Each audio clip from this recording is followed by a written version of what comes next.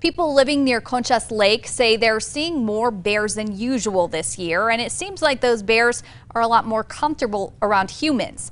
News 13's Stephanie Chavez has the story.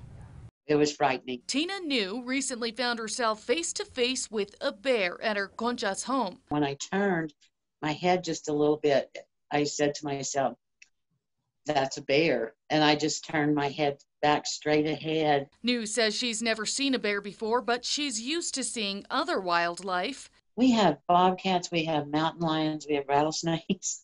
we have so many different types of wildlife up here. She says this is the first year she and her neighbors have had a bear problem. Now, every summer we'll have one or two for it seems like maybe two weeks, I think, and then you don't hear about them again.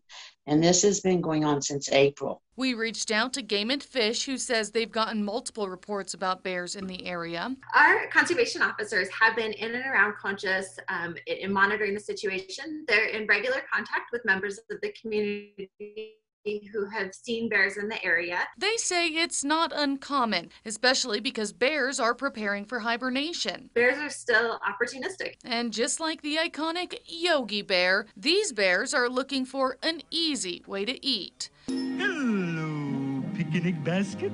Game and Fish says they handle each case differently depending on the circumstances and the bear. We have set a couple of traps so that if we can catch a bear and, and remove it from that situation, that would be ideal. Stephanie Chavez, KRQE News 13.